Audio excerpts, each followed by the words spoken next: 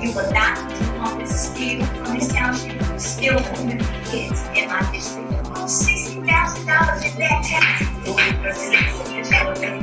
I'm not going to sponsor anything that's anti-state anything.